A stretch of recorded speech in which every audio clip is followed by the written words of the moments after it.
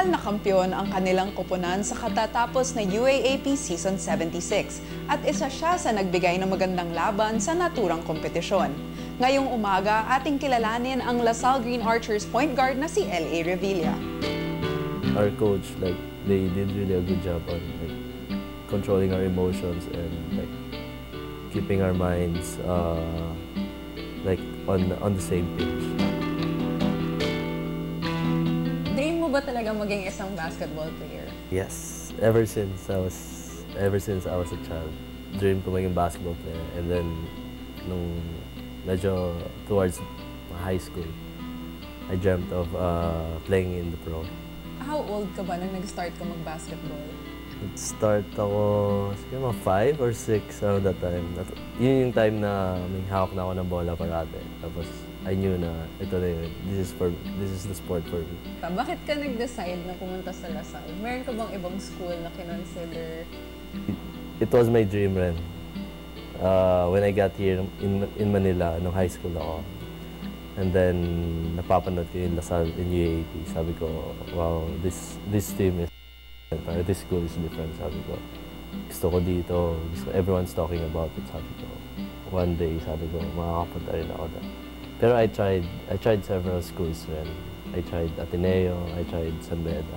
And then in 2009, dumating yung biggest challenge mo probably sa career kasi na-diagnose ka nga ng hyperthyroidism tsaka diabetes. Tapos kailangan mong mag-sit out ng two seasons. So parang, how did you get past this? Tapos parang nagsisi ka ba na hindi ka nakalaro for um, two years? Actually, hindi. Kasi I knew na nung nangyari sa akin yun, out of my control. eh. So, I mean, hindi ko naman siya ginusto nung nangyari sa akin. Saka, at first na nangyari ko na hereditary siya. So sabi ko, well, I think this is this is who I am. This is my this is gonna be my my life. So sabi ko, I'll just see what happens next.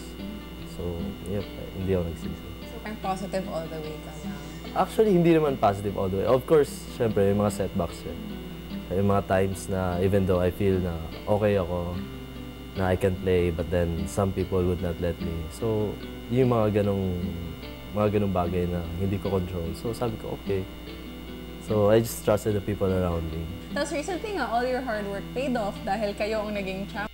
Ano naman yung feeling na talagang last year playing for the UAAP na naabot mo tong goal na to? Uh, well, at first, when it happened, medyo surreal siya. But then, towards the end, na when I tried to look back, sabi ko na how many, like, I've, in, syempre, nung dumating ako Lasal, hindi lang isa, pinangarap ko na magkaroon ng championship. But then, I told myself na I'm blessed enough to have one championship kasi ang dami namang tao na hindi nagkakaroon ng ganyan opportunity. So, sabi ko, nung after, nung, actually after nung day na champion ko, nung medyo patagal, siguro mga 3 days, after 4 days, 5 days, tinitingnan ko, I look back ng mga, mga first years ko, first few years, tapos second year, sabi ko.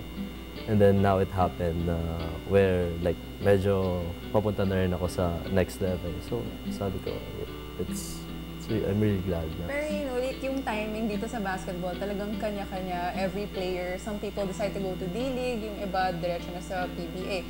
So ikaw, nag-decide ka na after winning the championship, diretso ka na sa PBA draft. What made you decide to do this? Actually, hindi lang hindi ko lang hindi lang sarili ko nag-decide that. I I talked with my family and of course I talked with Coach Eric. And uh, Coach Eric really a good idea on like how how big this opportunity will be for me kapag magpa-draft ako sa sa PBA. And then consider ko. And then at first hindi talaga ako ready. Sabi ko na, Coach, hindi ko napag-isipan to. Sabi ko sa kanya na I'm still planning to play next year for LaSalle and even D-League, sabi ko. I think I still have a lot of things to improve, sabi ko. And sabi niya, okay, pag-isipan mo muna. Tapos binigyan niya ako one week. And then actually, during the draft, uh, I mean, the deadline, siguro mga one hour, two hours before, like, he called me back. Sabi niya, oh ano, sabi ko, I think, okay, I think, okay, sige, I'm ready. Sabi ko. So ano naman yung sinabi ng Lasal teammates mo?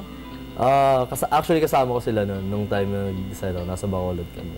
Tapos nalaman niya pa-draft ako. Sabi, oh, pa-draft ka na. Sabi niya, "Ah, iwanan mo na kami. Ganun. Niya. Medyo tampo, pero Ha? Happy sila. For sure, they're happy. Like, kahit ako naman, like, may teammate ako nagpa-draft. Happy. Meron ka bang advice na mabibigay sa mga aspiring basketball players? Do what you love to do lang and then uh, continue getting better at it and uh, believe in yourself. Hindi pa tapos ang laban para kay Patuloy ang kanyang pagsusumikap na maabot ang minimithing pangarap sa larangan ng basketball. Hanggang sa susunod na pagkilala sa mga katangi-tanging Pilipino, ako po si Carla Lizardo.